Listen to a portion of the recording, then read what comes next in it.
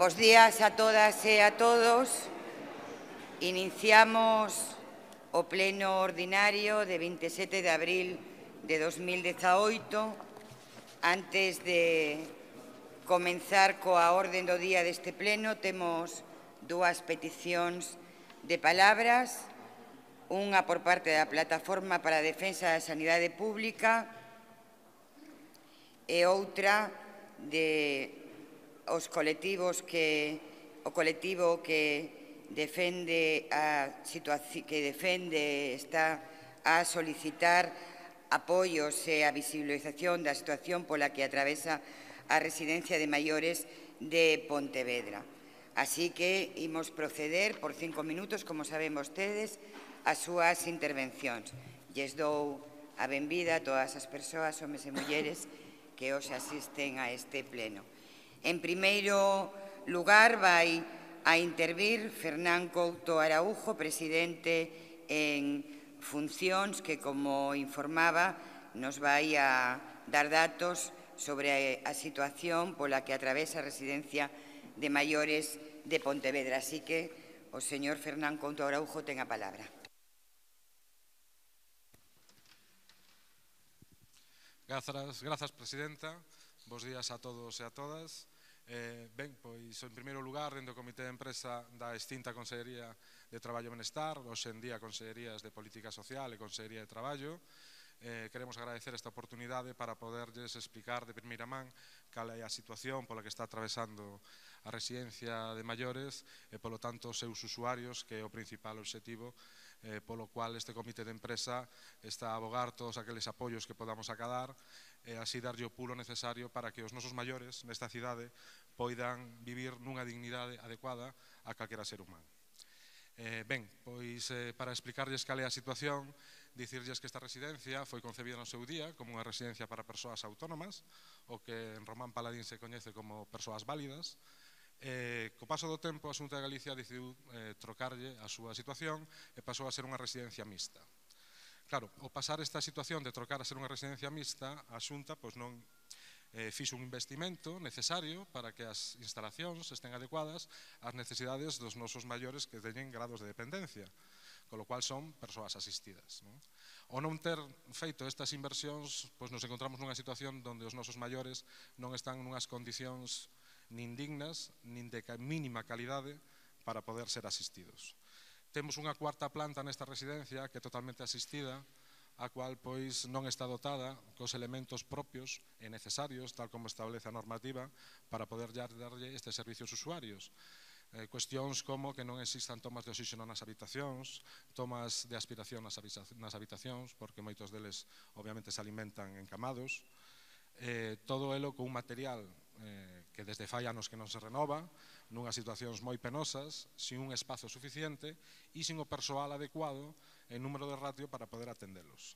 Temos un déficit importante en auxiliares de enfermería e ATS, o igual que no servizo de cociña, xa que mm, a propia, o propio número de traballadores non cubre moitas veces as quendas de traballo para poder darlle servizo eh, unha residencia que está aberta os 365 do ano as 24 horas do día.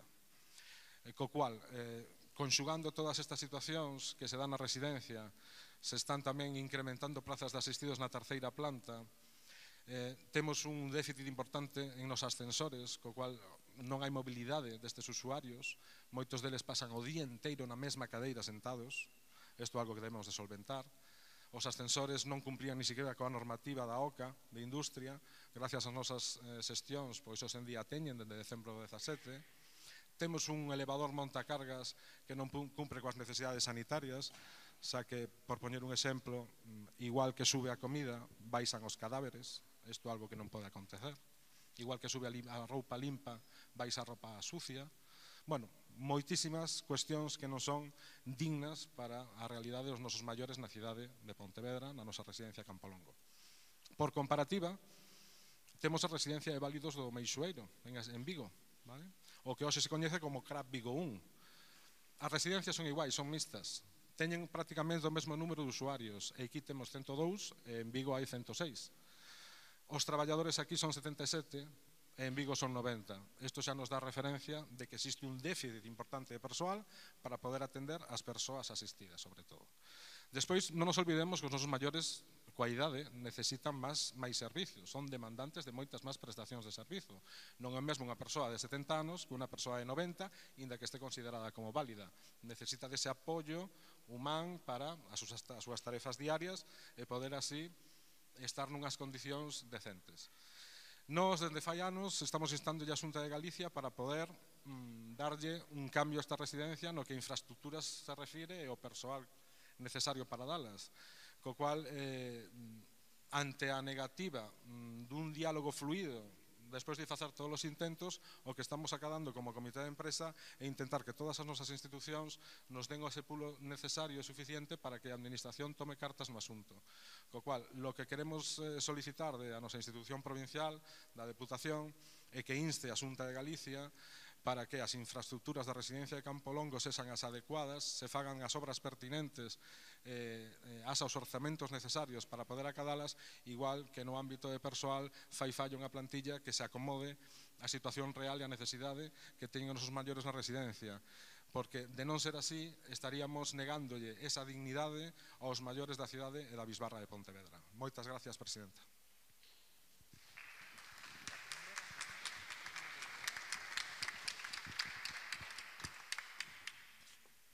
Moitas gracias, señor Fernán Couto Araujo, pola súa exposición moi clara, con datos obxectivos que vostede plantexou frente a unha situación que ten que ter resposta por parte da sociedade, xa que cada vez vivimos nunha sociedade onde somos máis tempo maiores e temos máis necesidade desa prestación de servicios que, sen dúbida, ten que ser de calidade. Eu lle prego que nos faga chegar o relatorio de todas as situacións que vostede aquí estivo a expoñer e todas as reclamacións que fan para que dende a Deputación de Pontevedra podamos remitir e instar a Xunta de Galicia a que se cumpran con esas peticións que vostede fai e cando menos que se estableza ese diálogo, esa relación para solventalas. De novo, moitas gracias. Ten tamén agora a palabra a Plataforma para a Defensa da Sanidade Pública, que xa estivo neste pleno informando antes de que o anteproxecto de modificación da Lei Galega de Saúde Pública eh, fora estivera xa eh, no Parlamento e agora nos solicitan unha vez que xa se está debatindo voltar a intervir para informar da situación actual, para, el, para dar resposta a esta petición de intervención no pleno. Eh, ten a palabra o señor Juan Loureiro.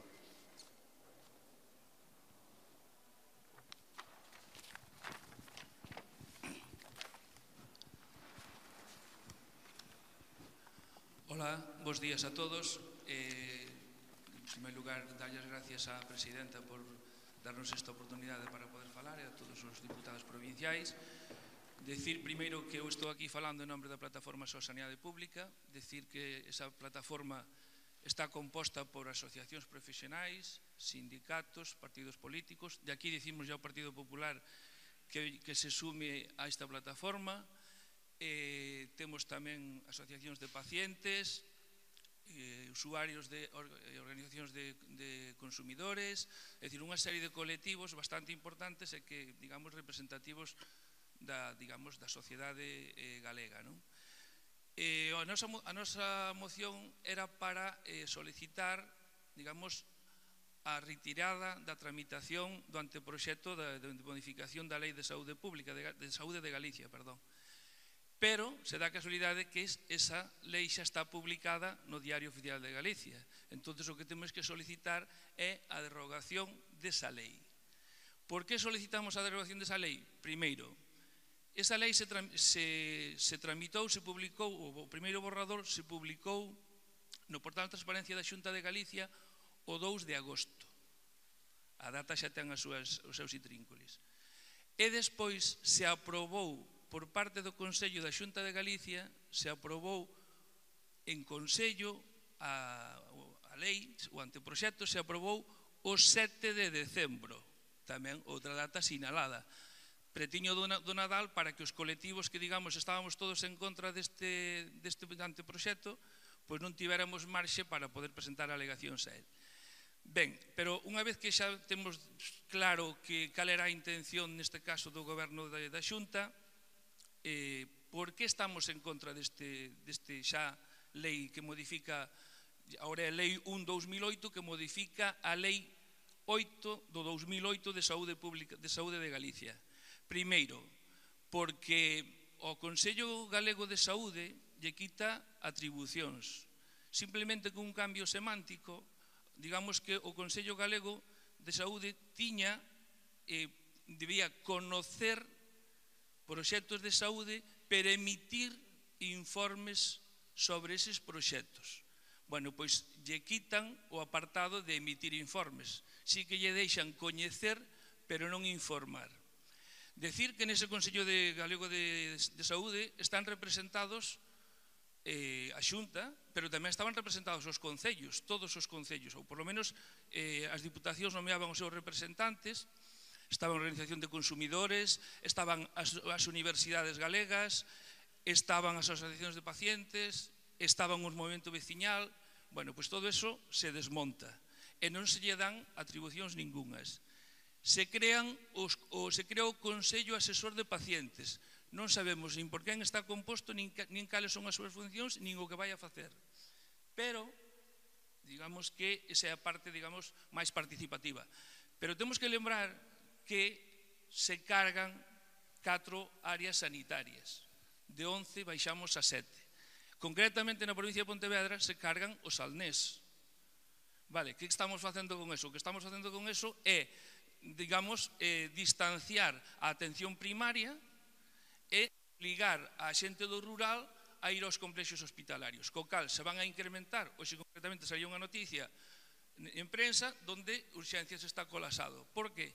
Porque alonxamos a medicina eh, de atención primaria, digamos, das zonas rurales e as concentramos nas zonas, nas zonas urbanas. E despois hai outra, hai outra cosa importantísima. Por certo, que a lei de a lei de se, hai, tamén permite esta esta lei permite xunto ca lei de, de garantía de tempo de espera un tempo máximo de 60 días para intervención quirúrxica e 45 para eh, diagnosticar. Que sucede se si se, si se superan eses 60 ou 45 días? Automáticamente te pasan ás empresas concertadas, vale? a sanidade privada. Aí é onde está o negocio. Por qué? Porque a Xunta incumple eses plazos de xeito intencionado para poder pasalos a, a, a empresa, as empresas privadas. E despois, as empresas privadas, hai exemplos aquí, aquí en Pontevedra, por exemplo, varices, cataratas, que se están eh, atendendo a xente con, digamos, con uns eh, procedimentos moito máis agresivos que o, que, que o dos propios Sergas. Eh, con isto remato. Hai un apartado importantísimo que é o artigo 131 da lei que di que o Sergas poñerá os medios, como é o personal e as instalacións para poder eh, investigar e esos dereitos de que se consigan por parte dos, dos facultativos dos Sergas se poderán ceder a empresas que non teñen a, a, a sectores ou empresas que non teñen nada que ver cos Sergas. É dicir, nós poñemos todos os medios e quen se van levar os cartos van a ser as grandes, as grandes empresas farmacéuticas de, do mundo. Eso é moi grave e por eso solicitamos por favor, o apoio deste Pleno para derrogar a, a Lei 1 barra 2008, 2018, perdón, de Saúde de Galicia. Gracias.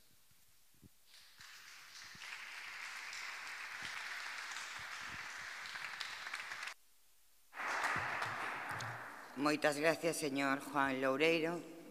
Sabe vostede que aquí se debatiu este, sobre esta modificación da lei Galega de Saúde Pública e sabe vostede que a maioría do Pleno votou favorablemente que o Goberno, pero tamén o señor Jacome, eh, mos, se mostrou favorable eh, a situarnos en frente desta aprobación, aprobación desta Lei Galega de Saúde Pública que consideramos que dinamita a, saída, a, saúde, a sanidade pública a súa calidade que beneficia a sanidade privada, eh, ten vostede, dende logo, o, todo o noso apoio para solicitar a derogación, pero ademais queremos agradecerlle a Plataforma de Sanidade Pública a súa loita de tantos anos en defensa do dereito máis básico e máis importante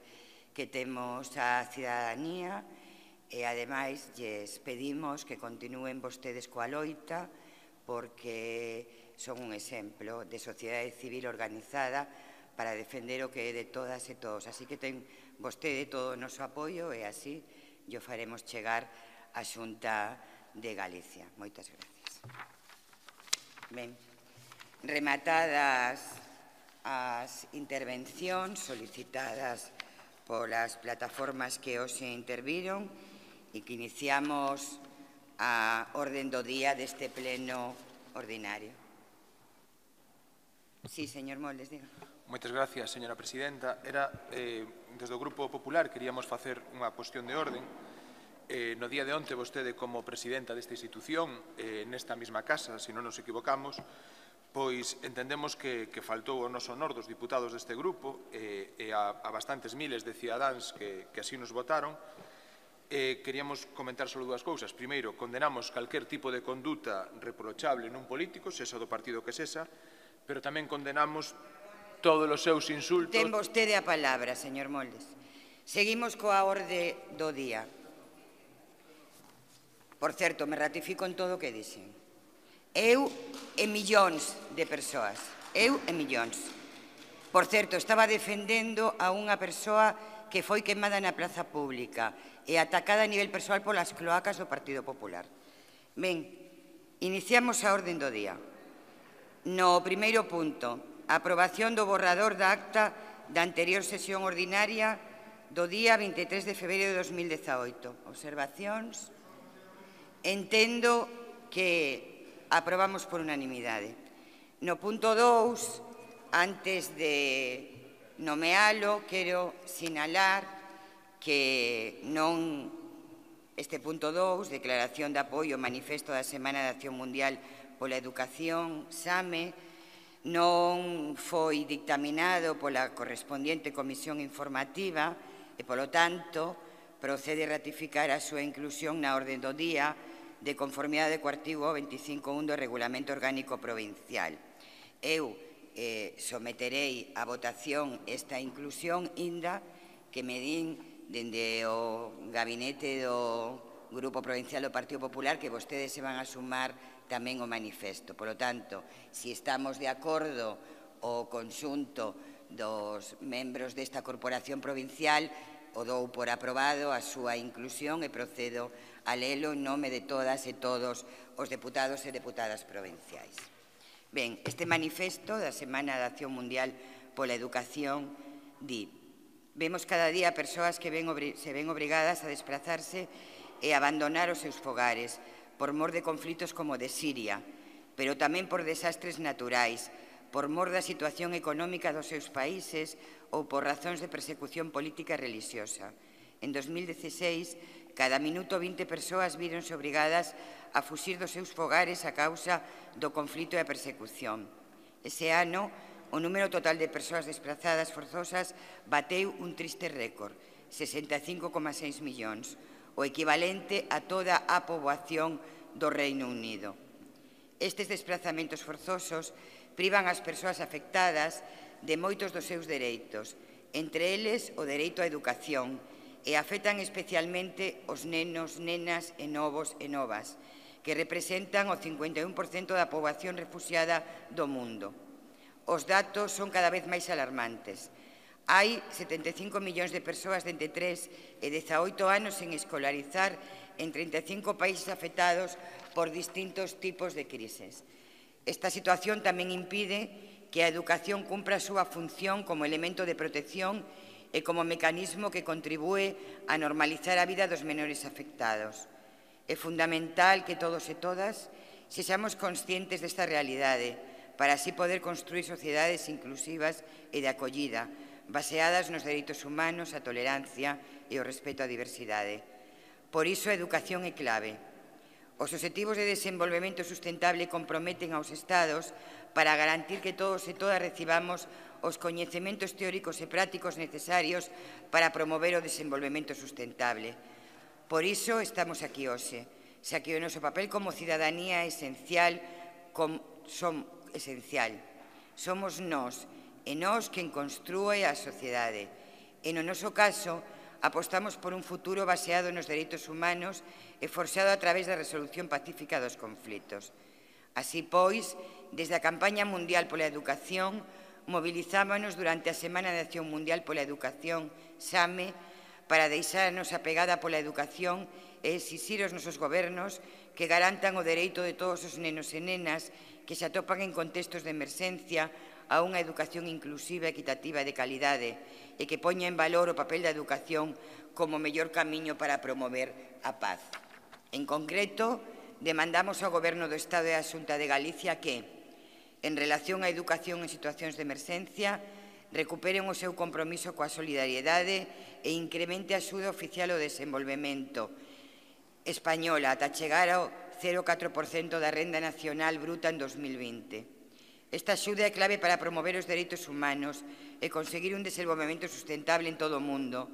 Nesta liña, pedimos incrementar especialmente a axuda destinada á educación básica. Sen educación de calidade para todos e todas, o desenvolvemento sustentable non é posible.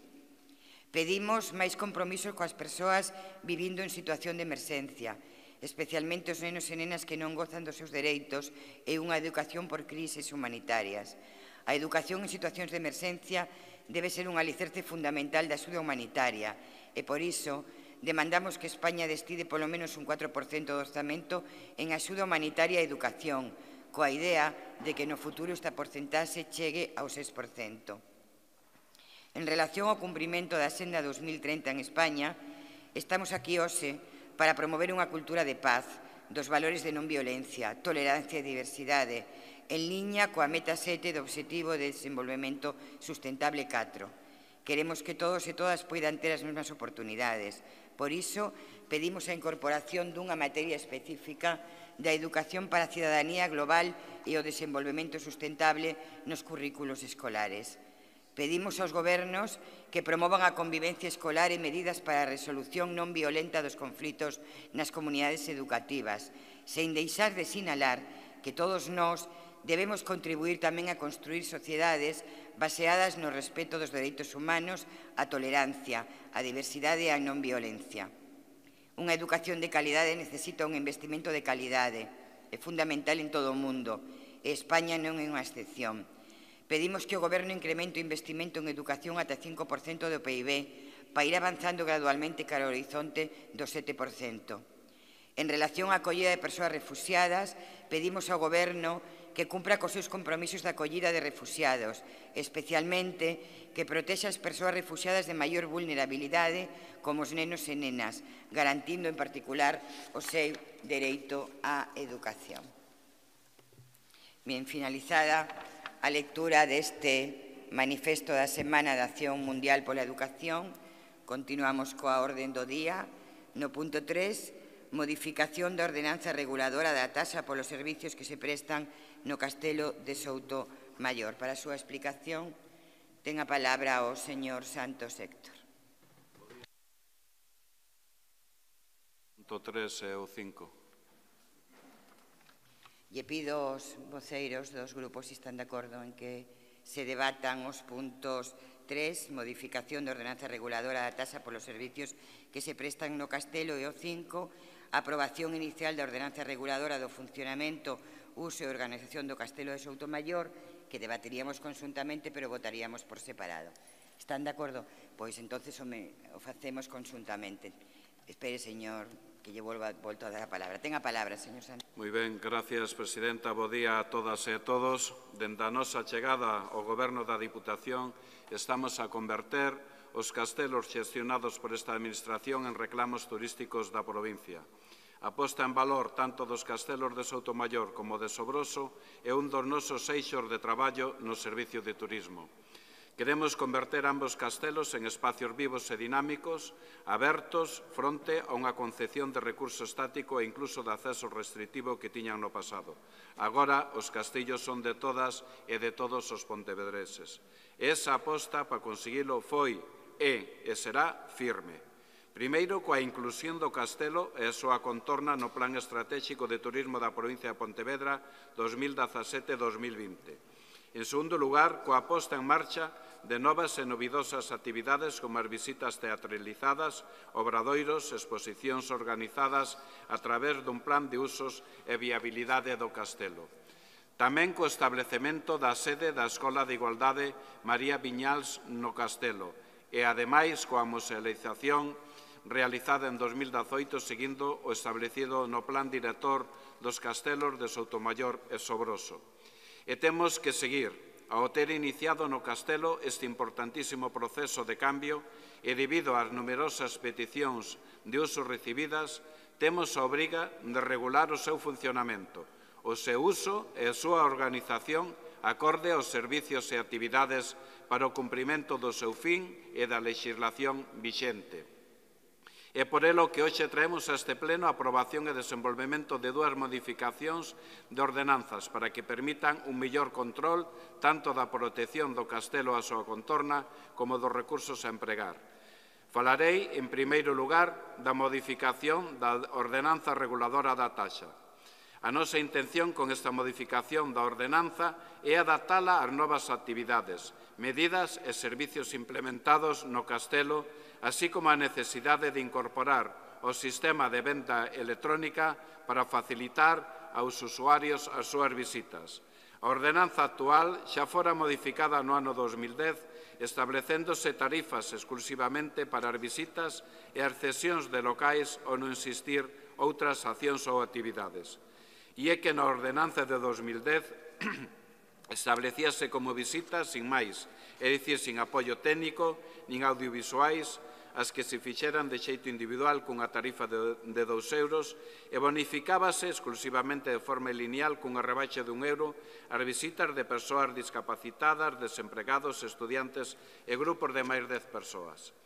Con esta nova ordenanza pretendemos ampliar a posibilidade de adaptarnos á realidade da sociedade actual ofrecendo un maior e completo servicio. Establecemos un catálogo de visitas a visita familiar, visita libre dirixida a familias, a visita guiada, visita dirixida a grupos en xeral previa reserva con tres modalidades. Primeiro, a visita ao Castelo Sotomayor comprende unha visita guiada na que se mostrará exposición permanente do Castelo Sotomayor. Dous, a visita do Castelo de Soutomaior aos xardíns comprende unha visita guiada á exposición permanente do Castelo Soutomaior e aos seus xardíns.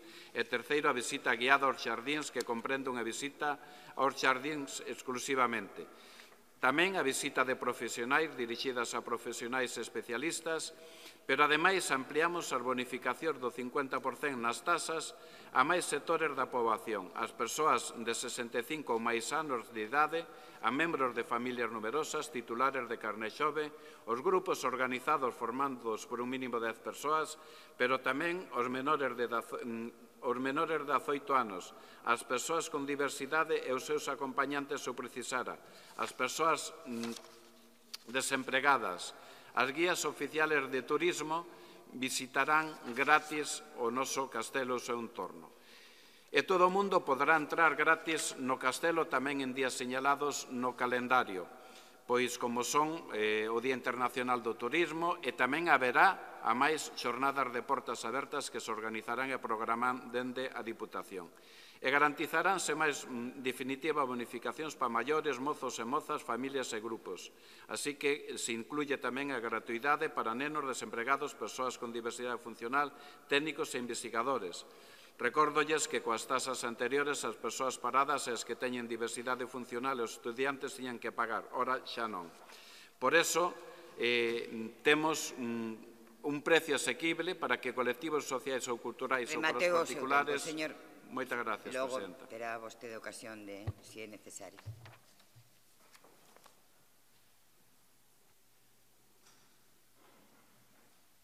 Ten a palabra, señor Moles.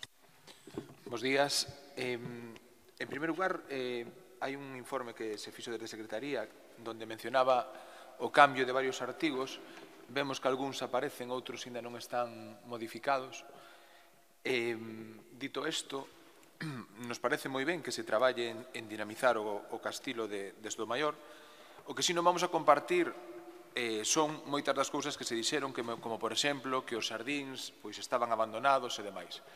Recordar que, en este caso, cando se fala do castilo de Sotomayor, pois non estamos descubrindo nada novo, eh, hai que recordar que, por exemplo, eses sardíns foron declarados no 2012 como excelencia internacional, único en España, e creemos que é se siga traballando, en este caso, eh, neste ámbito.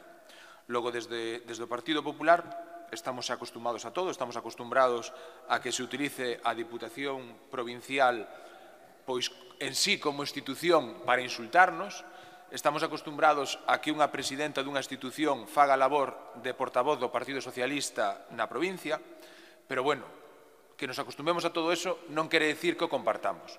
Logo, nos gustaría, primeiro, que se respetara esta casa como institución, que en esta casa se falara e se respetara a todos os veciños da provincia con a independencia de a quen votaran, e non é moi aconsellable que se utilice esta institución ou a presidencia como tal para o conflito permanente e para o insulto permanente.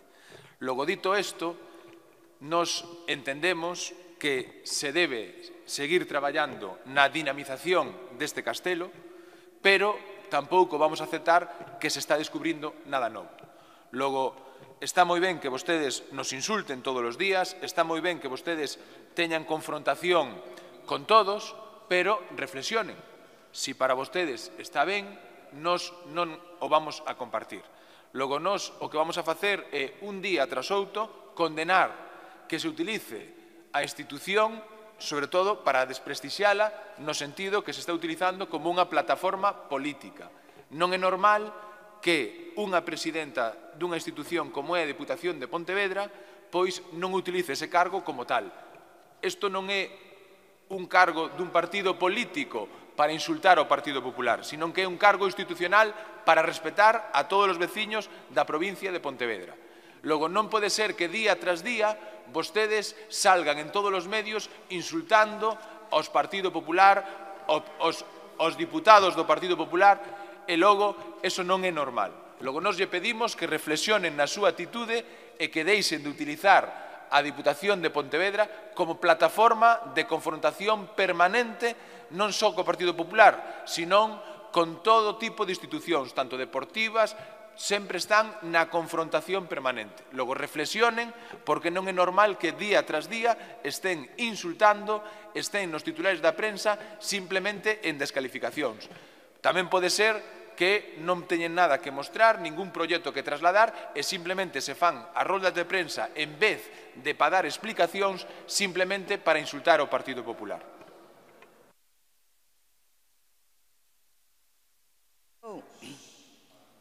Eh, señor, señor Santos Héctor, un segundo solo. Claro, a prensa ten que estar alucinada porque a prensa di que a presidenta da Deputación dá roldas de prensa de unha hora que non acaba nunca e que contamos demasiadas cousas e o Partido Popular di que nas roldas de prensa non informamos da nosa xestión. A verdad que deben de estar os, os periodistas, homes e mulleres, asombrados. Ou está equivocado o Partido Popular ou están equivocados os periodistas. Señor Santos Santosetos, ten a palabra. Gracias, Presidenta.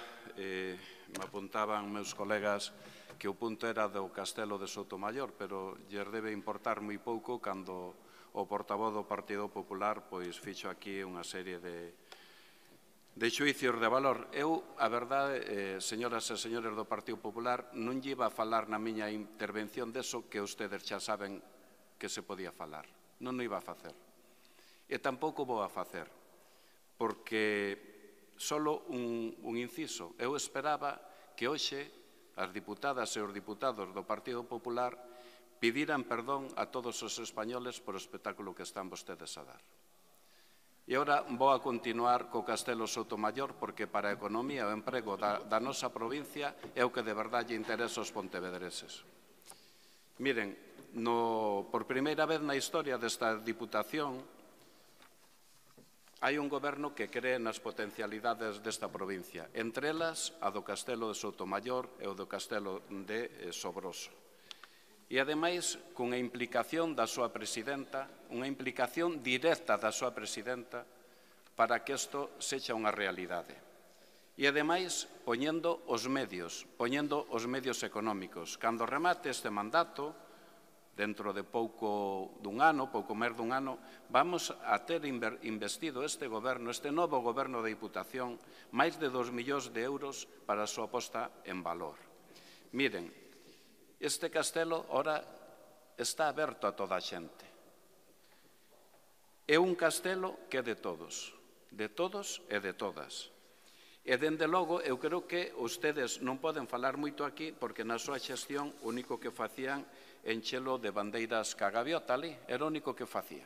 Por o demais, era a súa finca, non lles preocupaba pois nin a, nin a seu eh, eh uso, nin, nin, nin, nin siquiera que aquelo fora un, unha, un, un patrimonio desta diputación pois eh, cun aproveitamento sostible, que é o que se está eh, facendo ahora con esta ordenanza. E, máis, unha ordenanza que nos permite xa, xa ter eh, contabilizados o incremento de eh, visitantes comparado ca etapa onde vostedes gobernaban. Miren, hai un 33,5 máis de visitantes no Castelo Soutomayor desde que está este novo goberno da Diputación. Mire, mm, hai visitas teatralizadas donde hai lista de espera para ir.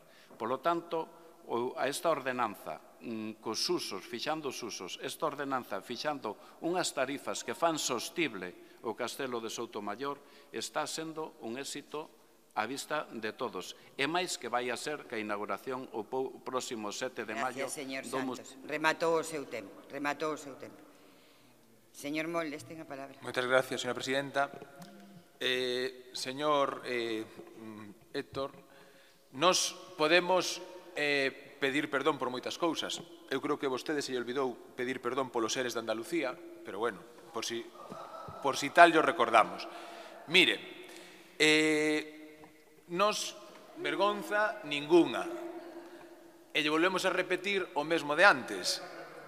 Eh, si quere falar da Diputación de Pontevedra, que é onde estamos, realmente o que deben de pedir perdón é vostedes por utilizar esta institución como unha plataforma política para a confrontación permanente. E que non é que teñan só os problemas co Partido Popular, é que teñen problema con presidentes de clubs de fútbol, teñen problemas con presidentes de asociacións, siguen na confrontación permanente. Logo, miren, respecto a Soutomayor, vostede nos pode decir moitas cousas, pero ao final os feitos e as realidades son as que son. Desde o Partido Popular se conseguiu que os xardíns de Soutomaior acadaran o distintivo de excelencia internacional, único en España. Vostedes poden falar de moitas cousas, pero que os feitos están aí. E eso o acadou o Partido Popular. A ver vostedes que son capaces de acadar.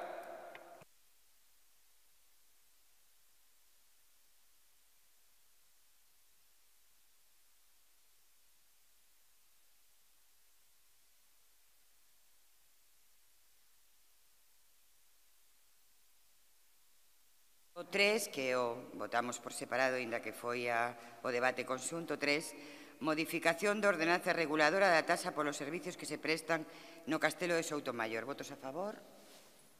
Votos en contra? Abstencións? Queda aprobada por 14 votos a favor e 11 abstencións. E agora, se lles parece, votamos o punto 5, eh, aprobación inicial da Ordenanza Reguladora do Funcionamento, Uso e Organización do Castelo de Soutomayor. Votos a favor? Votos en contra? Abstencións?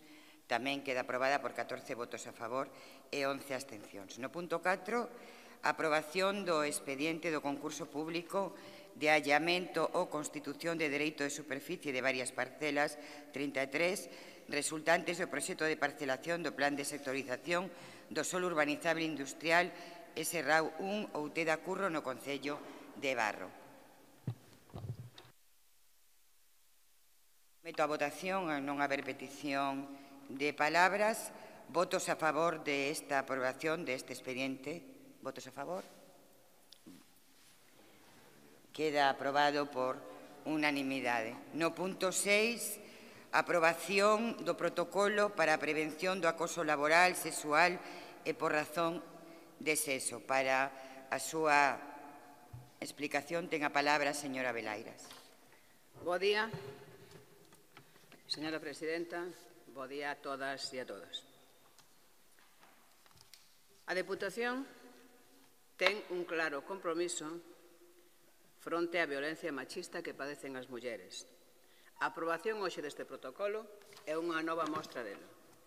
Pero hoxe non podemos pasar por alto o fallo que coñecemos onte, e quero dicir con toda claridade que son consciente que nun Estado de Dereito temos a obriga de acatar a sentencia, pero nin a comprendo, nin a comparto.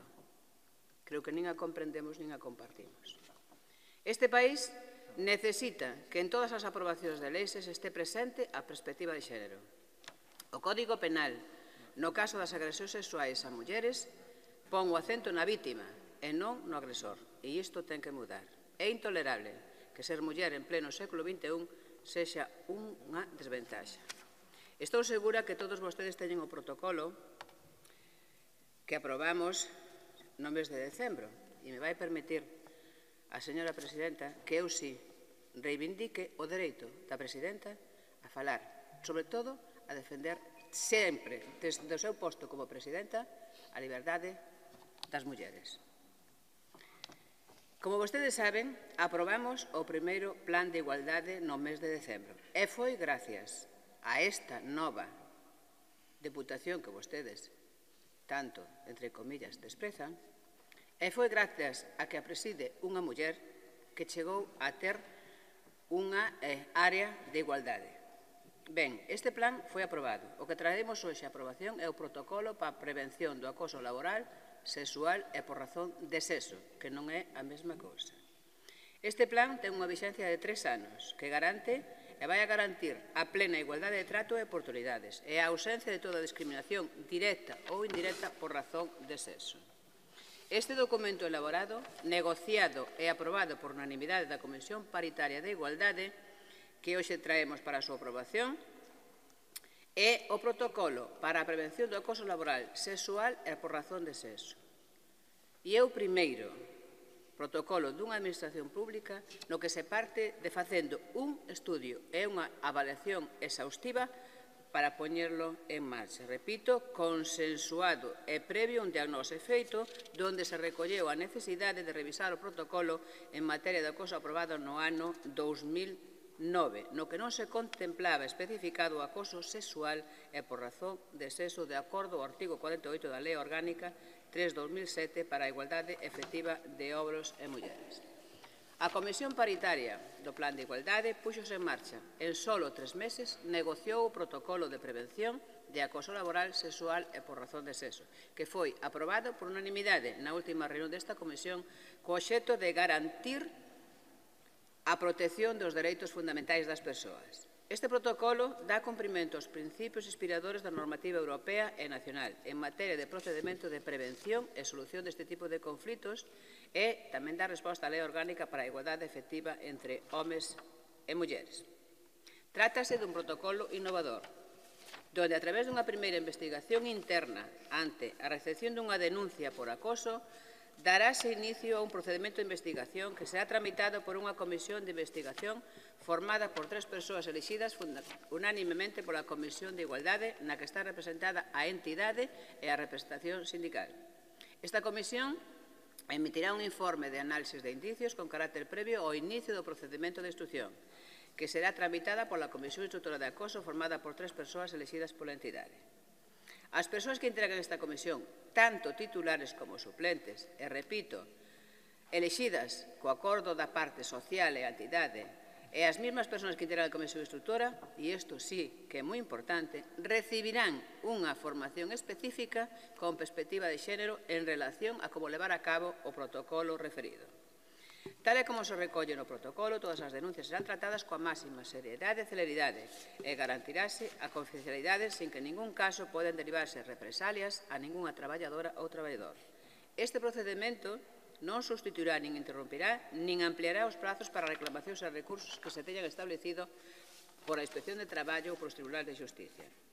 E para metar, rematar, indicarles que queremos garantir un entorno laboral exento de riscos, facendo posible a actuación ante calquera tipo de conduta que poida ser cualificada de acoso, salvaguardando os dereitos das persoas afectadas e garantindo a adopción das medidas disciplinares contra aquelas traballadoras e traballadores que incorresen en condutas de acoso. Por rematou, espero... rematou o seu tempo, señora Belaire. Señor Mosquera, ten a palabra. Gracias, señora presidenta. Bos días a todos e a todas. Eh, estamos ante un, eh, un protocolo para a prevención de acoso laboral sexual por razón de sexo que creo que eh, todo o que se faga, todo, absolutamente todo o que se faga en este, en este sentido, en esta dirección, todas as medidas que se vayan tomando, que obviamente a Diputación ten as competencias que ten, creo que son eh, non necesarias, senón imprescindibles e urxentes. Mm. Eh, porque, eh, por desgracia, estamos nunha sociedade na que todos os días, a todas as horas, en todas as situacións, sexa no ámbito cultural, musical, social, eh, económico, eh, eh, etc., pois eh, avanzou moito unha parte da sociedade, pero siga habendo outra parte eh, nada despreciable, bastante, bastante numerosa, que eh, siga ter unha concepción, unhas diferencias de apreciación entre o que son homes e mulleres e os dereitos de cada quen que eh, pois pon a veces os pelos de punta. Pon os pelos, pon os pelos de punta e así o teño, así o teño que, eh, que poñer de manifesto eh, e o temos que poñer e creo que todo o que se faga é, é bo. Eh, onte mismo, non, teño que facer referencia, eu estaba, estábamolo eh, eh, falando, obviamente era a noticia do día, Entón, un pode tomar todas as apreciacións que queira. Entón, unha, unha persoa das que estaba comigo dicía, non, non, seguramente que quen fixo esa sentencia se fixeron unha filla ou a muller, verdad? Pois tería outra opinión. Tería outra opinión porque parece que hai mulleres de primeira, de segunda, que son da túa familia, se son. Non. E outro, moi hábilmente, moi precisamente, dixo, e se lle fixeran a él? Porque poden facer a él. Entón xa desaparece todo eso de que non las artes de seducción e la tolerancia e di que no, pero es que sí, e rollos dese tipo que realmente son infumables. Son absolutamente infumables. Porque pode, podía pasar perfectamente, non? Podía pasar.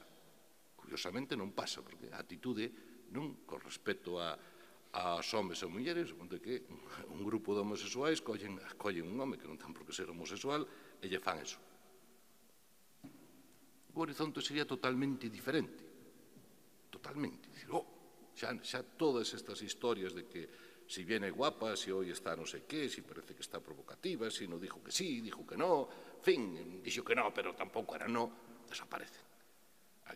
Temos moito que avanzar, moito que avanzar, desde logo, e eu insisto en que todas as medidas, aínda que poidan parecer, pois eso, que non hai grandes competencias, o que sea, todo que sea poñer o tema sobre a mesa, todo que sea avanzar en esta, en esta dirección, creo que é, como dixen antes, imprescindible e, e urxente.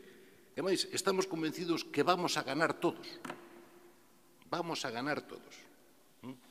Todas as cousas, porque esa, esa competencia non que todos eh, certo modo, os que temos uns anos tuvemos que sufrir a ver quen era o máis chulo, o máis guapo, non o máis atrevido, o máis ousado para facer barbaridades, hm?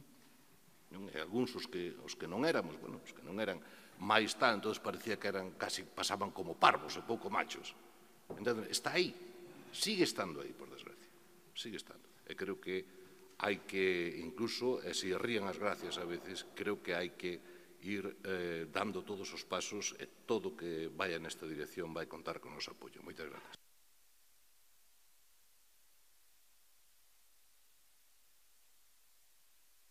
Aprobación do protocolo para a prevención do acoso laboral sexual e por razón de sexo. Votos a favor? Queda aprobado por unanimidade.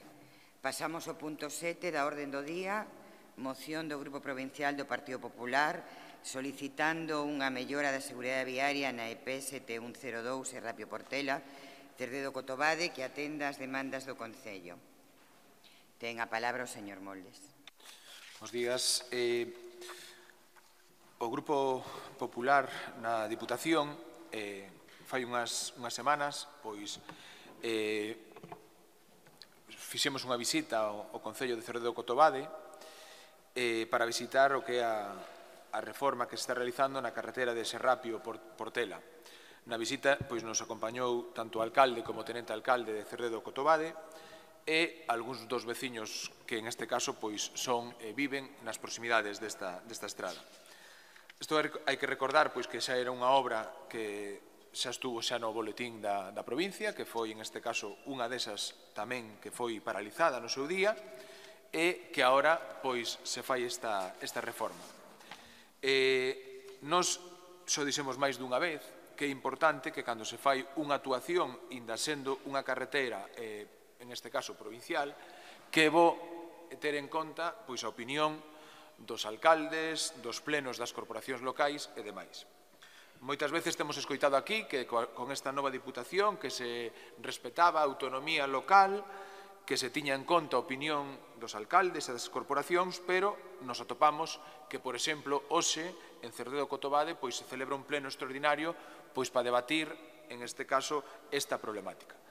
Nos eh, poidemos visitar nesta obra que nos sorprenderon moitísimas cousas. Aquí, mm, nesta, nesta legislatura, tuvemos decálogos, tuvemos manuais, pero ahora temos un vial que non sabemos si cumple ese decálogo, se si cumple ese manual, porque nesa visita podemos ver, por exemplo, que había entramos que te podes atopar de repente de pasar de 3 metros a 6, que te podes encontrar unha zona pavimentada que de repente pois queda todo e unha parte sin pavimentar habendo espacio cedido.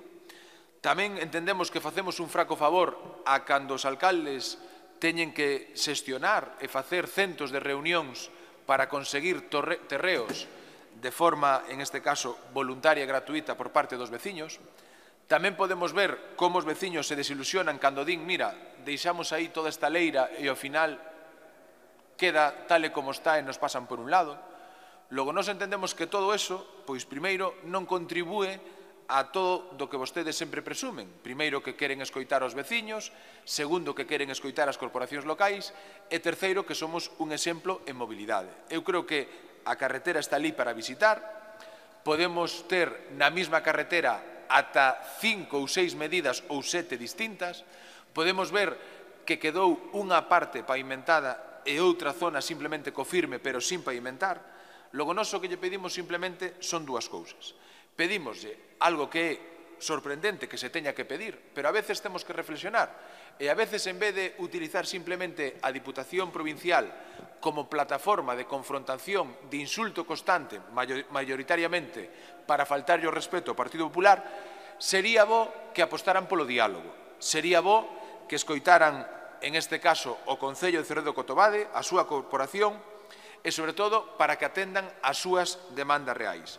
Tamén pedimos que retomen as actuacións do asfaltado no último tramo executado para completarse eses 9 metros e que foi unilateralmente por parte da Diputación reducido a 7 metros e, sobre todo, que continúen con esa mellora que demandan os veciños.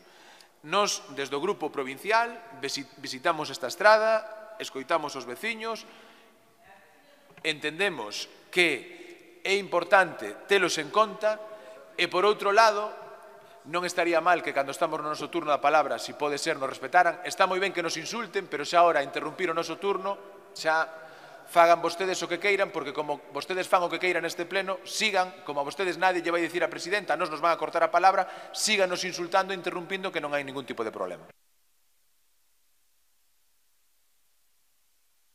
Señora Velairas, por favor. Señora Velairas, non entre en debates que, de verdade, yo pido por favor, vamos a ser un pleno que a xente nos está mirando, que nos respeten. Non, non entre nestas cousas. Señor Benítez, ten vostede a palabra. Bo día a todos e a todas.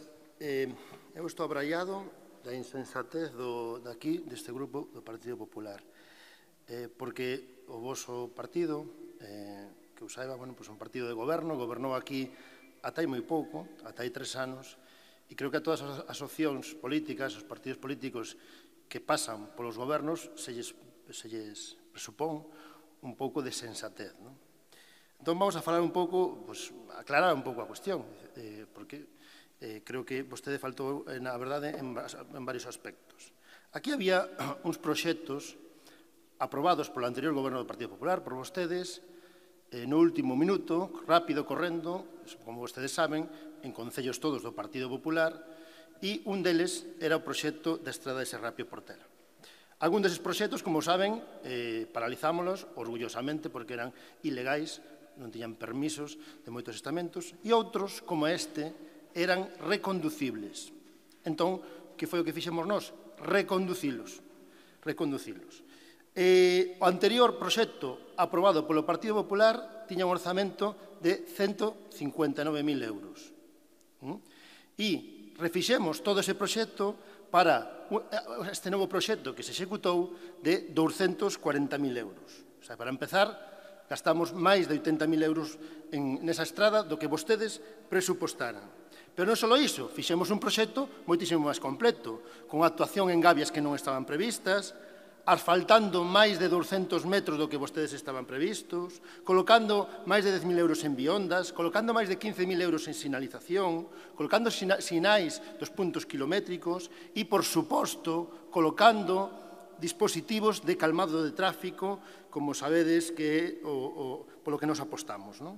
E tamén incluímos, por suposto, a pavimentación dunha variante que fixeron vos e da que mellor non, fa, non falar de cando se fixo eh, todas esas son melloras que nos consideramos necesarias. E o resultado, señor Moldes, pues, o resultado é isto. O resultado é isto. Isto é o resultado deso que se fixo. Entón, eu non sei se vostede está trasladando aquí como persoa responsable dunha acción política de goberno que isto está mal. Bien, pois trasládelle ao resto das concellos e das, dos, dos, dos veciños que viven estradas provinciais que isto está mal. Ben, estamos falando dunha estrada, esta estrada, que ten unha intensidade de vehículos medios, medios pola Deputación de Pontevedra de 17 vehículos día.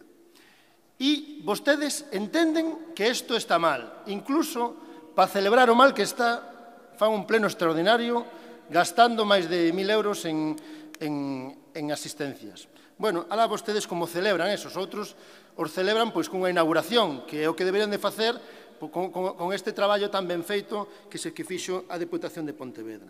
Respecto á opinión dos alcaldes, quero decirlle que en todo momento hai un diálogo co, co alcalde de Cerredo Cotobade. E a mí me está solicitando pues, convenios e outros proxectos en, outros, en outras estradas provinciais do seu Concello. Hai un diálogo total. O 2 de marzo tuve unha reunión co, te, co alcalde e co teniente de alcalde, en, en, no que explicamos que ese proxecto estaba xudicado e se iba a executar tal e como eh, eh, redactaron os técnicos. Ahora, a miña pregunta é si vostede que, que entende desto que isto é un problema de seguranza viaria. Vostede sabe que sabe deso? O o noso punto de vista é que teñen que determinar como se fan os proxectos de seguranza viaria son os técnicos e son os enxeñeiros, que son os que determinan como se ten que facer iso.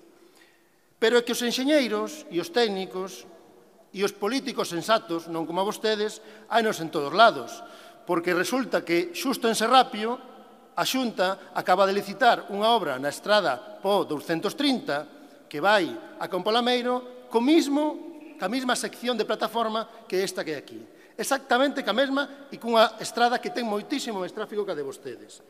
Pero é que, dende logo, é o, algo que é habitual en todas as administracións que teñen un perfil técnico e que, dende logo, defenden que temos que ser comedidos nas actuacións e que recentemente acabo de, acabo de chegar precisamente do Congreso de Vías e Obras da Administración Local e ali se insistiu e se insistiu da necesidade de limitar as seccións a 6 metros de plataforma porque senón eso eh, trae como consecuencia un incremento da velocidade e da e, e, e, Gracias, señor Benito. Logo terá a a oportunidade de voltar a intervir.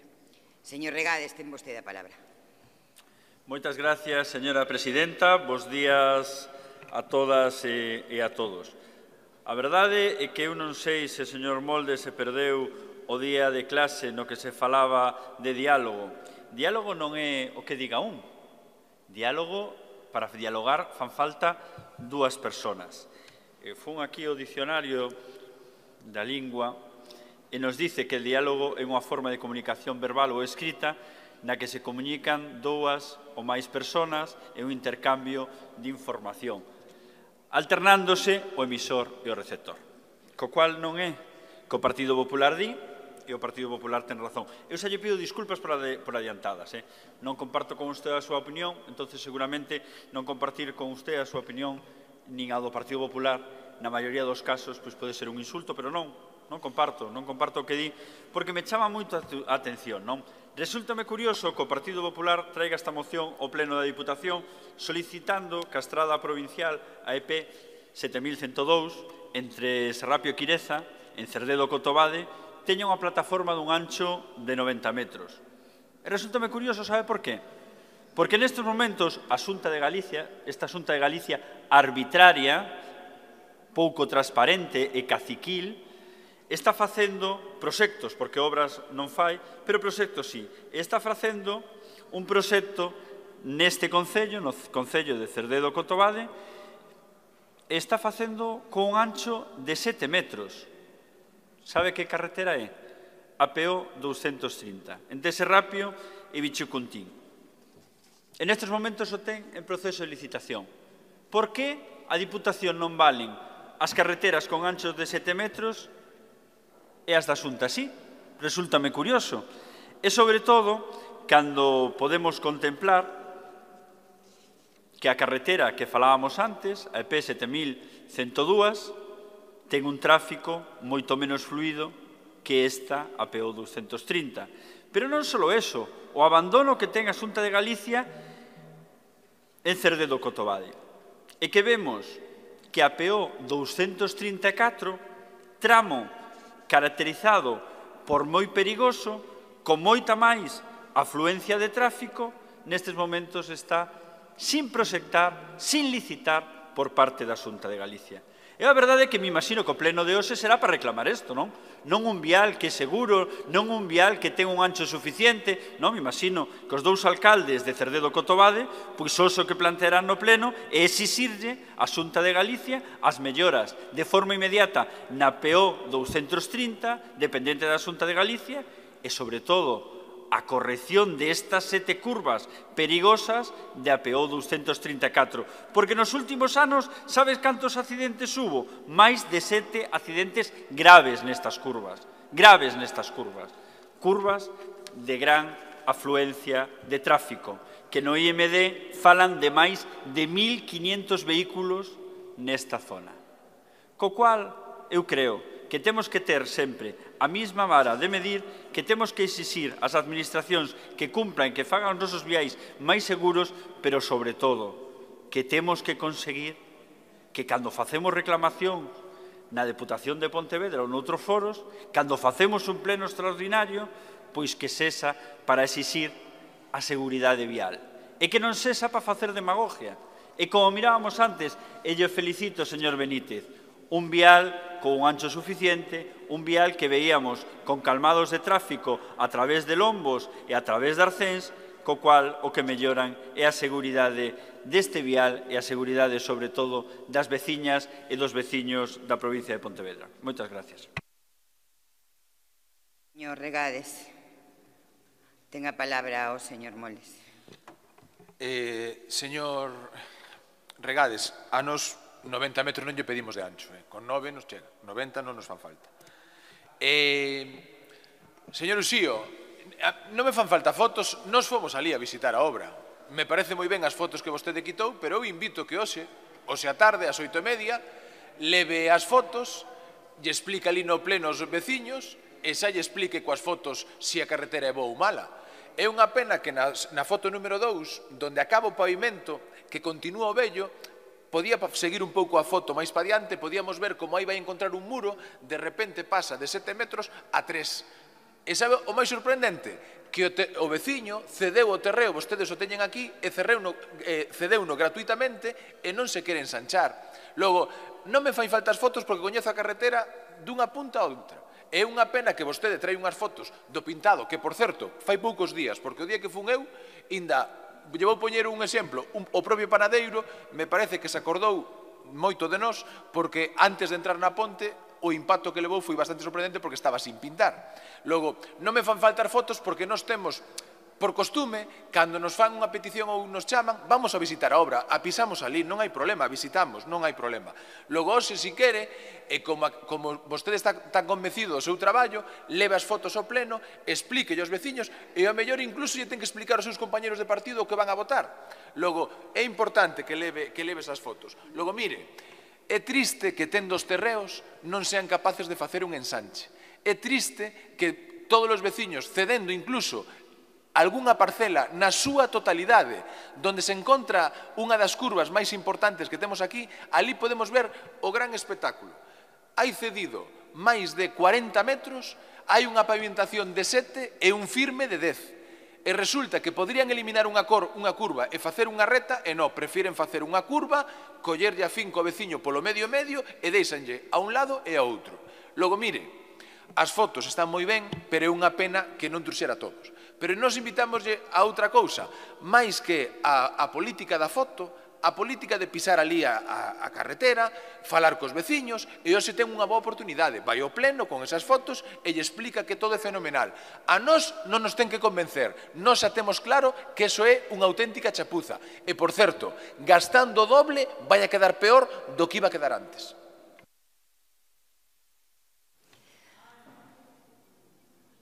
Señor Benítez, ten vostede a palabra.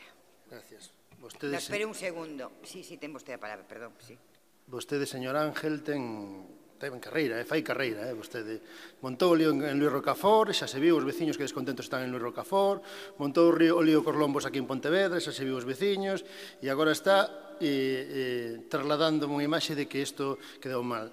Mira, os veciños son bastante máis sensatos do que vostede E vostede ven aquí pues, a decir que, vai, que o, o futuro é facer carreteras de 9 metros en, de ancho en, en, en que te, carreteras que teñen unha intensidade vehículos de 17 e que é o futuro, ala vostede. Mira, eu non lle vou a contestar máis, simplemente decirlle que creo que non vai ter moito éxito por esa vía por, por onde vai. A, eh, xerando problemas por xerar, eh, e dende logo nos seguiremos na liña de pensar que hai que facer actuacións con medidas que hai que calmar o tráfico, que nos núcleos onde se pasan hai que colocar dispositivos de calmado de tráfico para garantizar a seguranza viaria e, dende logo, claro que estamos moi satisfeitos e moi orgullosos moi orgullosos deste proxecto que se fixo para esta estrada provincial. Gracias, señor Benítez. Señor Regades. Señores del Partido Popular, que yo sí que voy a ir, ¿eh? Yo sí que voy a ir eh, a visitar el Concello de Cerdedo Cotobade y sobre todo hablar con las vecinas y con los vecinos. Porque yo creo que usted, cuando dice que está en el territorio, ¿me puede decir que usted estuvo en la PO 234 y que me está hablando de si la obra de la EP 7102 tiene 7 o 9 metros cuando es una obra completamente segura. ¿Usted me puede decir que fue a la PO 234 y no le cae la cara de vergüenza de venir a este pleno a reclamar para Cerdedo Cotobá de infraestructuras cuando tienen siete curvas perigosas, cegas absolutamente, donde en los últimos meses hubo accidentes de alta consideración? Cando o IMD nesta, neste vial fala de 3.000 vehículos nos últimos cinco anos de media e que está desatendido pola Xunta de Galicia. Usted cree nos veciños e as veciñas de Cerdedo Cotobade? Ou usted ven aquí a marear, a mover a matraca, matraca para diante, matraca para atrás, e o resto lle importa un pouco. Porque fa falamos das curvas da PO 234 porque son graves. Sete curvas perigosas cegas, que cando entras na curva non miras outro carril.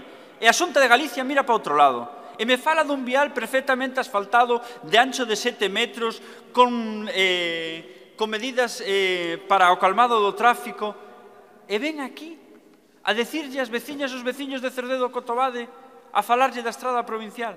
E non me ven aquí a falar de que nos sumemos todos a reclamar melloras urxentes a, a PO 230. Usted me vai decir a Nacional 541 que digno por parte do Goberno de España que levemos un ano en obras neste territorio. Un ano que a carretera pintada a amarillas, con vallas e con escasos traballadores que a maioría das veces non están. E non lle cae a cara de vergoña. E me dice que usted defende as veciñas e os veciños de Cerdedo Cotobade. Usted o que é un demagogo. E lle pido disculpas. Eu creo que demagogo non é un insulto. É argumento porque digo demagogo. Porque se quixera aos veciños de Cerdedo Cotobade e as veciñas de Cerdedo Cotobade reclamaría que acabaran dunha vez as obras da Nacional 541 e que empezaran xa as obras da PO 235 con curvas perigosas e, sobre todo, da 234 con estas sete curvas perigosas, cegas e catalogadas como curvas peligrosas no territorio. Moitas gracias. Gracias.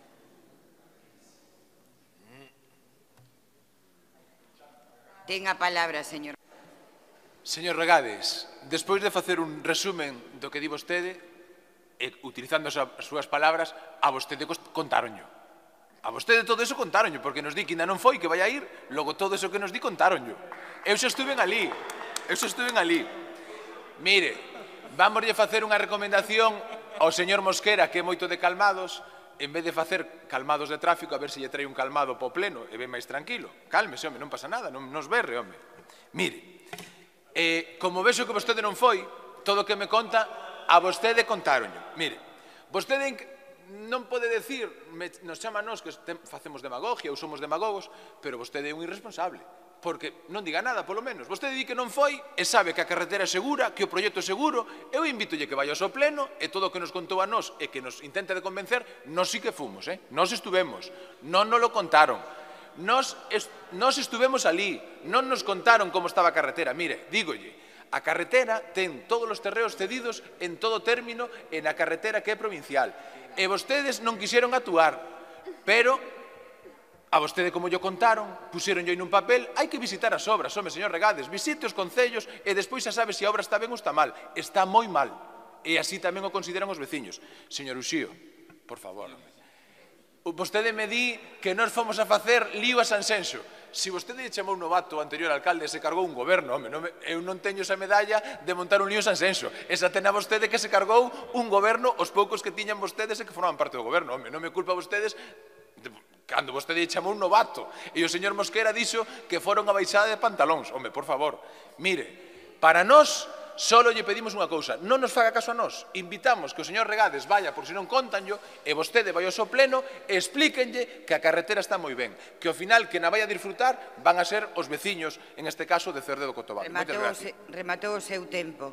Señor Regades, me comprometo con vostede a ir a, a ver, a ver, non tega palabra, a ir a visitar a PO 234 e a PO 230, que é gravísimo que acontece ali, e imos invitar ao señor Moldes que veña con nós para que reclamemos conxuntamente a Xunta de Galicia que se actúe nestas dúas viais tan perigosos. O vamos a invitar a vir.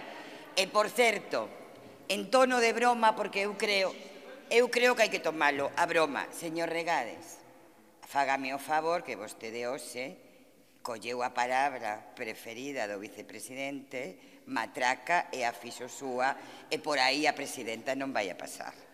Ben, sometemos a votación a moción do Grupo Provincial do Partido Popular solicitando unha mellora da seguridade viaria na EP 7102 Serrapio Portela, Cerdedo Cotobade, que atenda as demandas do Concello. Votos a favor?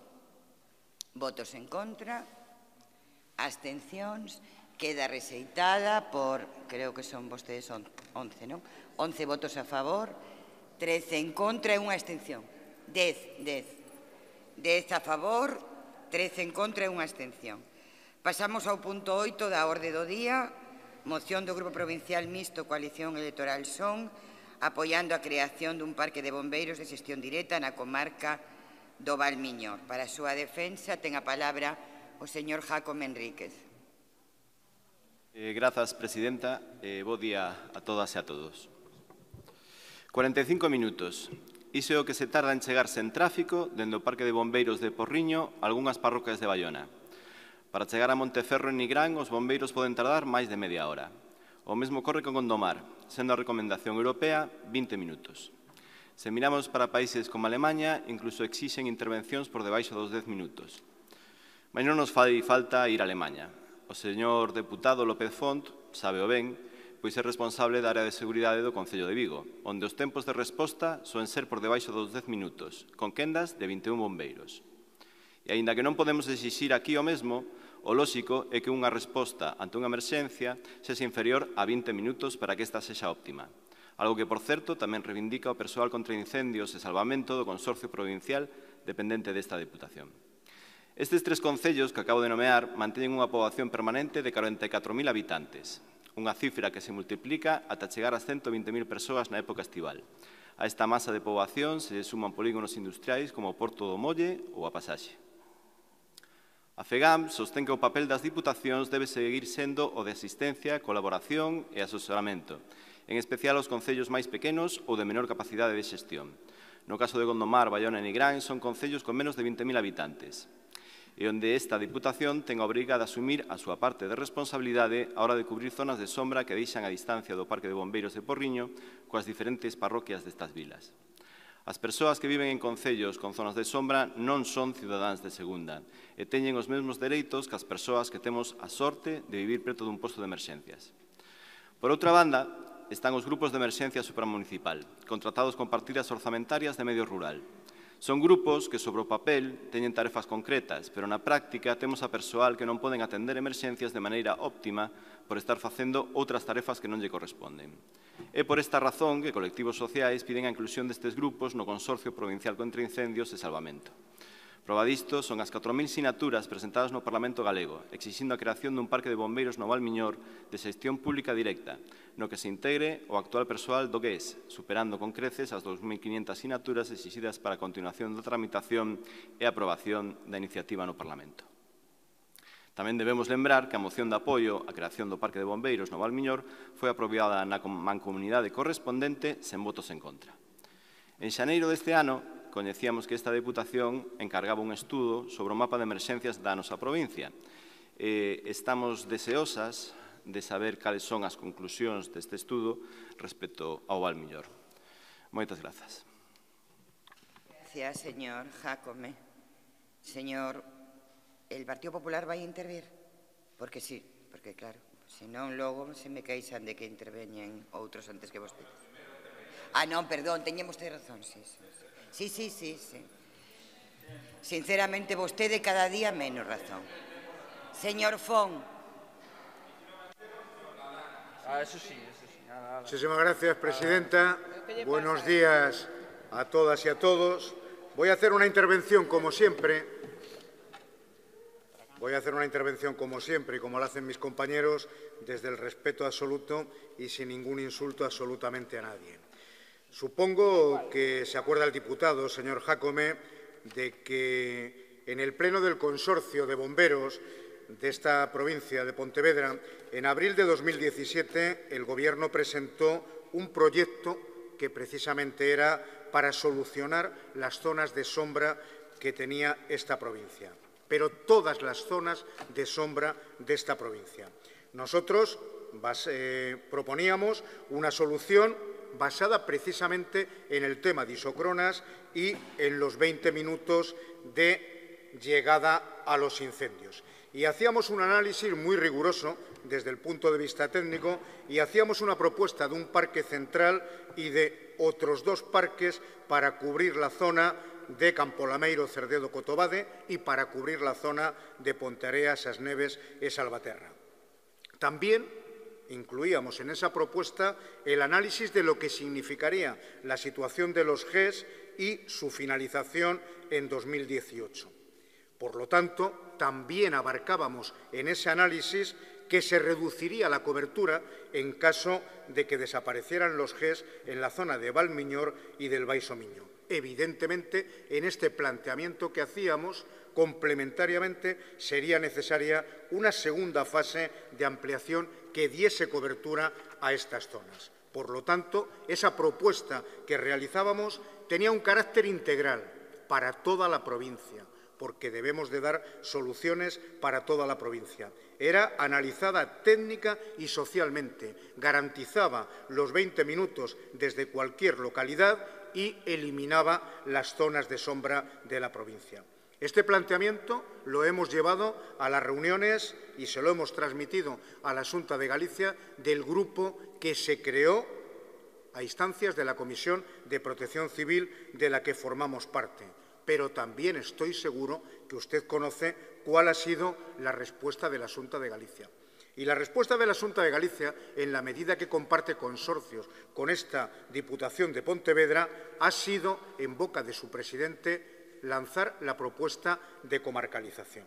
Una comarcalización que hay que decirlo claro y alto, como lo decía la presidenta en el pleno del consorcio de ayer, no tiene proyecto, no tiene recursos, no marca las zonas en las que pretende actuar y, sobre todo, va en contra de la autonomía municipal porque algo tan básico como ponerse en contacto con los dos alcaldes de Vigo y Pontevedra no lo ha realizado el vicepresidente de la Junta. Y lo peor es que cuando se le requirió para que lo hiciera, y ahí están las hemerotecas, se comprometió públicamente y tres meses después no lo ha realizado. No lo ha realizado. Nos sorprende, sinceramente, señor Jacome, su propuesta de moción porque ante un problema global como el que tenemos en un tema tan serio como las emergencias en la provincia y al que da tanta importancia la que tiene este Gobierno, no se puede venir con una propuesta solo para una zona determinada. Nosotros, compartiendo el que se debe de dar una respuesta ágil a la situación de emergencias en toda la provincia, como comprenderá, y lo lamentamos mucho, no podemos atender una petición de que se atienda a una zona exclusivamente. Muy al contrario, lo que nos gustaría es que usted y el grupo que representa lo que realmente se adhirieran a favor de lo que deberían de estar es en esta propuesta conjunta. Nosotros creemos que la política no es para hacer propuestas coyunturales y para dar respuestas a determinados territorios. Nosotros creemos, y así lo hemos hecho desde el rigor técnico, pero también desde la firmeza política de exigirle a la Junta de Galicia que se debe de dar una respuesta conjunta y que no se debe de estar en intentar enfrentamientos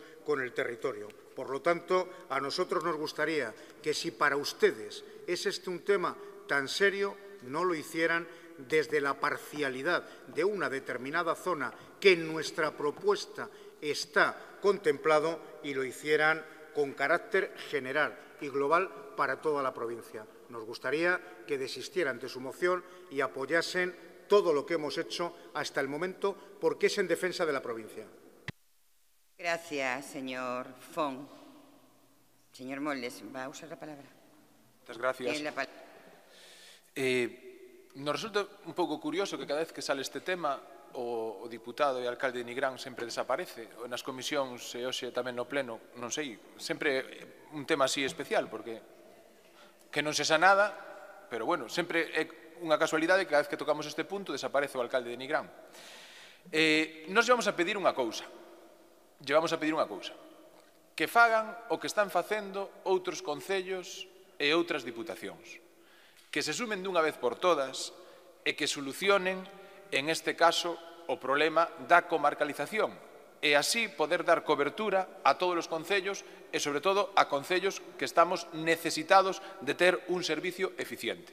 Logo, nos non, entendemos isto que sexa só un problema concreto dun lugar, Vostedes chegaron aquí dicindo e comprometéndose incluso cos bombeiros que iban a pasar dunha xestión indirecta a unha xestión directa, agora xa non queren escoitar falar do asunto, eh, chegaron con moitas promesas, pero ao final non están facendo nada. Logo, nós o que lle instamos e tamén lle recordamos que esta moción foi presentada polo Grupo SON, non polo Partido Popular, porque o señor Fon se centra en nós e non foi o Partido Popular que entruxe esta moción, non simplemente o que instamos como grupo mayoritario nesta corporación é que intenten solucionar definitivamente o problema que está sucedendo nesta provincia co servicio de emerxencias. Logo, noutras provincias o están tratando de solucionar, incluso provincias que están gobernadas polo Partido Socialista, Logo, simplemente lle pedimos que fagan o mesmo, que en vez de utilizar a Diputación, volvemos ao, principio, como plataforma para confrontación, para insulto permanente, intenten facer o que xa fan outros, en este caso, o que xa fan outros presidentes ou outras presidentas, que intentar apostar polo diálogo e intentar apostar, en este caso, pola cooperación. Logo, a Diputación de Lugo, o Concello de Santiago, a Diputación de Ourense, todos están traballando no camiño da comarcalización, en este caso, de facer un mellor servicio que incluso eh, tamén está apoiado polos propios traballadores.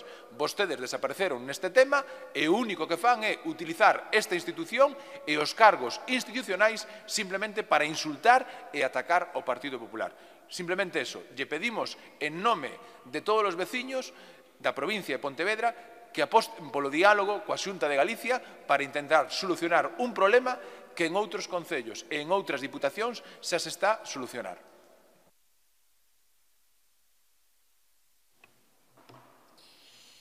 Señor Jacome, disculpe un segundo. Tenga palabra.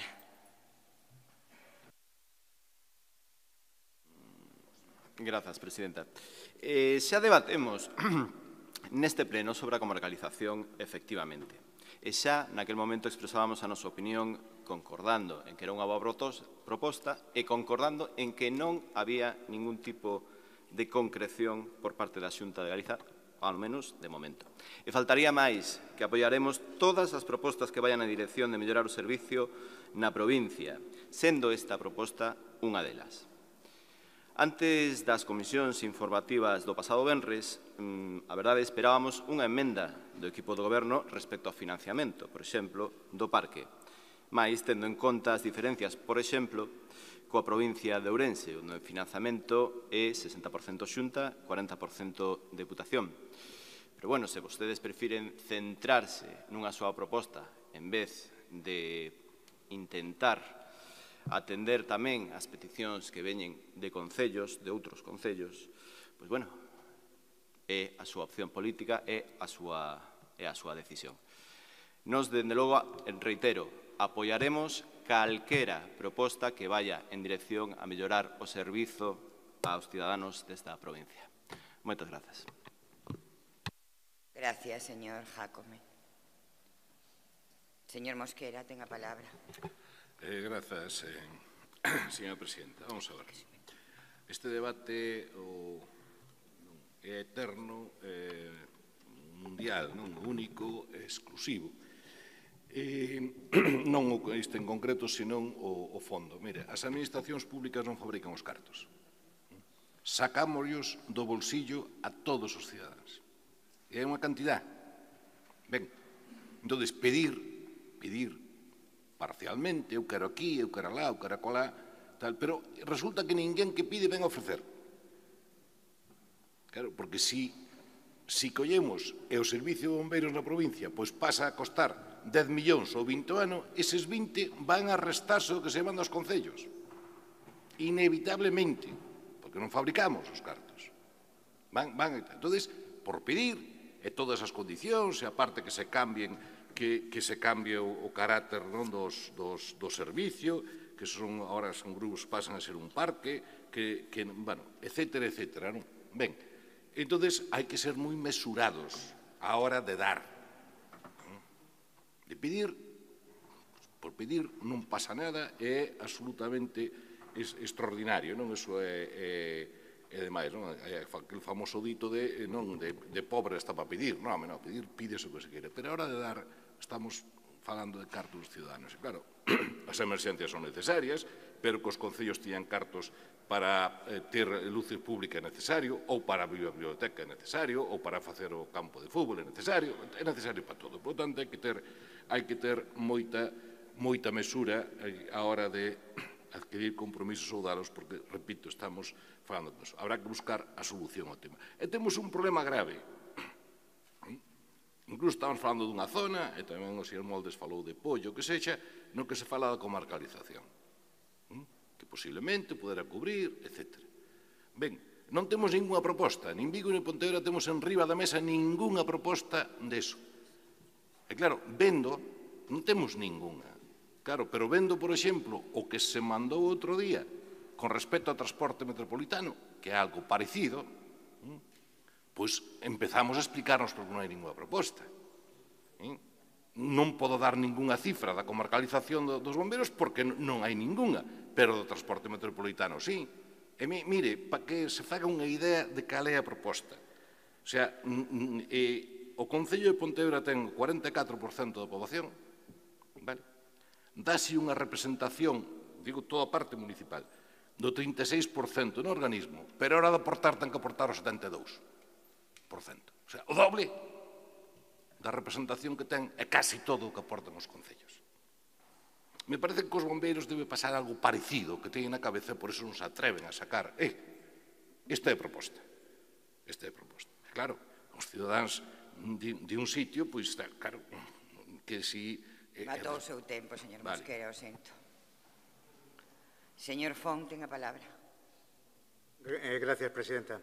Efectivamente, como es una emoción del Grupo SON, he contestado al Grupo SON y he realizado un planteamiento político y he hablado de las gestiones que hemos realizado desde este Gobierno en relación con la, con la moción del Grupo SON. Por lo tanto, quien se sienta aludido es ciertamente su problema o quien crea que tiene que venir aquí a defender otro tipo de posiciones. Este Gobierno defiende las posiciones y defiende los intereses de las pontevedresas y de los pontevedreses. Y les garantizo, y a los hechos me remito, que ha sido un tema que desde el primer día la situación del servicio de emergencias ha sido importante, prioritario y le hemos dedicado muchísimo tiempo a la solución de las emergencias en el conjunto de la provincia.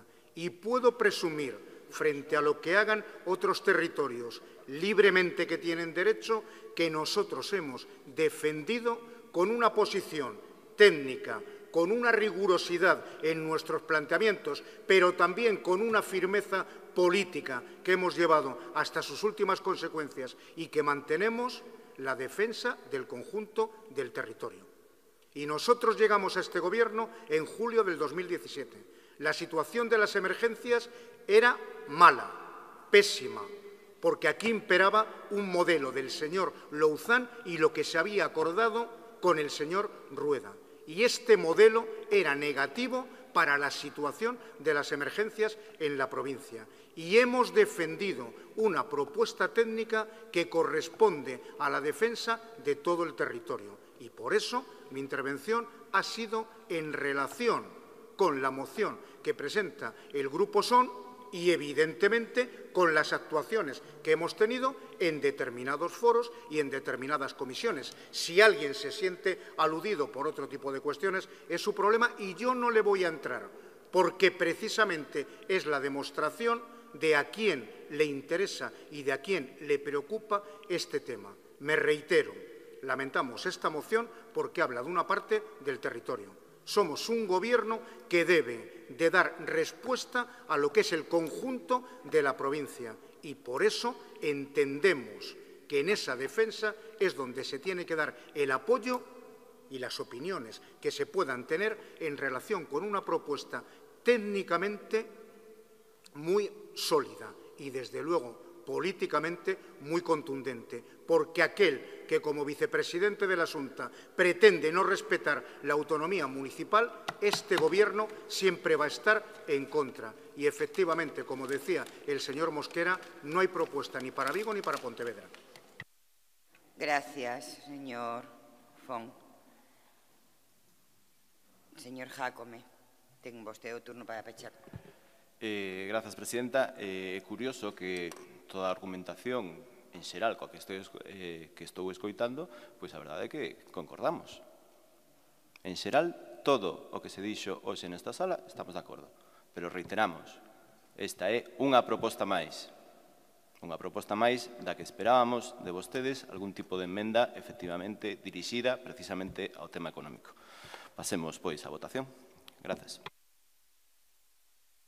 Gracias, señor Jacome. Eh, eu solamente un segundo, porque quero que vostede entenda, e tamén o Val Miñor, e que quede claro que nós temos un proxecto para dar resposta ás situación das emerxencias baseado no cumprimento dos 20 minutos que, como vostede mencionaba, todos os organismos plantexan que é o tempo adecuado, pero ese proxecto non se pode desenvolver sin o acordo da Xunta de Galiza porque forman parte do consorcio ao 50% e para boicotear e dinamitar ese modelo basado na creación de respostas aceitadas que garantan os 20 minutos, plantexaron a comarcalización para boicotealo. Por lo tanto, non temos ningunha capacidade, ningunha, de dar resposta a ese cambio de modelo no que hai que construir novos parques en algúns lugares do territorio, incluso tamén hai que crear unha estructura central que non existe, porque ahora os parques actúan de forma independente, debería haber un parque central tamén, que é o sensato, Que ocorre? Que non o podemos poñer en marcha porque temos que ter o acordo coa Xunta e a Xunta inventou a comarcalización para boicotear o noso modelo. Por lo tanto, estamos de acordo coa súa reflexión e queremos que quede claro, pero o voto en contra vai a ser porque non podemos admitir solamente a resposta para unha parte do territorio. Quería simplemente que quedara claro e, polo tanto, seguramente, se faláramos deste tema, seríamos capaces de elaborar unha proposta consunta que eu o invito a que o fagamos. Así que sometemos a votación a emenda presentada por Son Marea. Votos a favor? Ai, perdón, votos en contra, abstencións, queda reseitada por, somos 13, 23 votos a favor, eh, perdón, un voto a favor e 23 en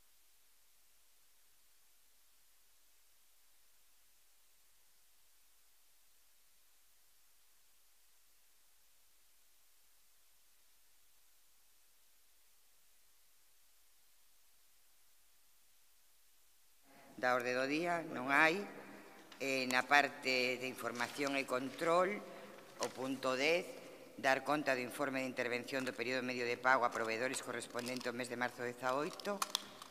Non hai observacións, queda enterado. No punto 11, dar conta do informe de intervención relativo ao cumprimento durante o primeiro trimestre do 18 dos prazos de pago de obrigas en relación co disposto na Lei 3-2004 de 29 de decembro polo que se establecen medidas de loita contra a morosidade nas operacións comerciais. Se non hai observacións, queda enterado. No punto 12, dar conta das resolucións presidenciais. Se non hai observacións, queda enterado. No punto 13,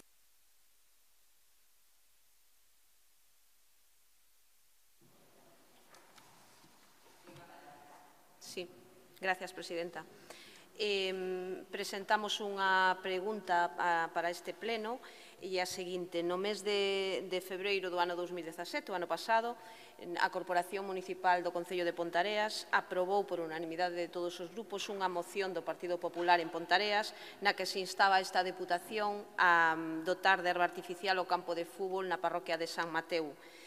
E, despois de transcurrir 14 meses, eh, dende que se adotou ese acordo pola unanimidade daquela corporación, eh, queremos saber, dado que non, non se sabe nada da intención desta Deputación acerca de, de dotar de erva ese campo, ese campo de fútbol, eh, queremos saber eh, si ten intención a Deputación de, de facer ese campo de erva artificial no, no campo de fútbol de Cruceiro en San Mateo, onde xoga o Clube Sporting de San Mateo, que é un clube de, de fútbol femenino galego que, que, que, que, bueno, que ten unha historia e que está a facer historia nese, nese ámbito. Señora Deputada, isto é un rogo, non é unha sí. moción, por lo tanto xa entendí. Bueno, estou lendo a pregunta, estou lendo que presentei. Xa, xa, xa, ben. Mire, lle contesto Eh, Vostede e registrou, lle contesto, vostede registrou xa esa pregunta por escrito, está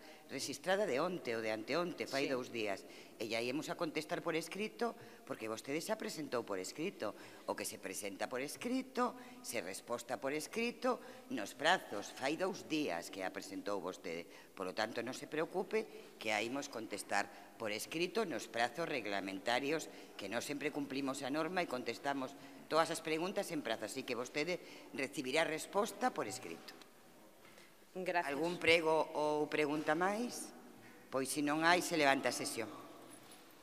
E que estaden, ou se vostedes están lentos, están lentos. Lentos. Non, non, é que non... Sí. Está? Bueno, bons días. Eh, ben, eh, eu quería plantexar un rogo en relación, pois, a este auto eh, de medidas cautelares que se otorgou por parte do xuiz en relación a obligar ao Concello de Vigo a facilitar o a tarxeta de transporte público tamén aos que non son empadroados en Vigo, co cual, bueno, vanse ver beneficiados pois veciños de todas as localidades do área de Pontevedra, pois eh, rogaría a presidenta como representante de todos os pontevedreses e pontevedresas que instara ao Concello de Vigo pois iso, a facilitar e axilizar a tramitación destas solicitadas destas tarxetas eh, de transporte público porque eh, mentras non obteñan eh, esa tarxeta non se van a poder ver beneficiados de esa rebaixa da tarifa. En estes momentos, bueno, pois xa eh, están aplicándose tarifas eh, distintas para os empadroados e para os que non son empadroados. Por iso, lle solicitaría a Presidencia a Presidenta da Diputación que eh, instara para que se axilizara os procesos de concesión desas tarjetas. Moitas gracias. Funde, vostede se confunde de, de ámbito, isto é o pleno da Deputación de Pontevedra, non é o de Concello de Vigo. Eu lle prego a vostede que se dirixe ao Concello de Vigo e o pleno. Pois é o que ten que facer. Moitas gracias. Algún prego ou pregunta máis? Pois, se non hai... Si, sí, hai outro, non? Ten vostede... No, no, pero...